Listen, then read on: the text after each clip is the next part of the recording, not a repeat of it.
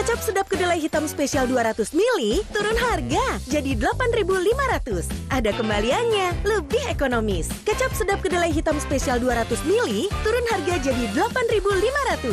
Cukup untuk masak seminggu.